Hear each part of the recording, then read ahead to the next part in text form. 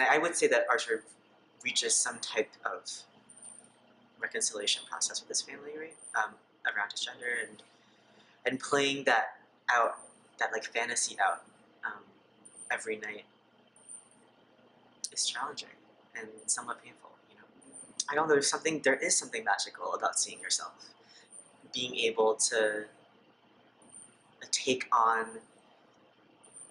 the personality, the being of another person who might share like similar parts of my own life as a performer, but there are so many more nuances, right, that are different.